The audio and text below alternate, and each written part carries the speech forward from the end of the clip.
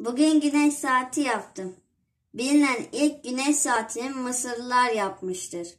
Güneş saati zamanı güneşin konumuna göre ölçmeye yarayan alettir.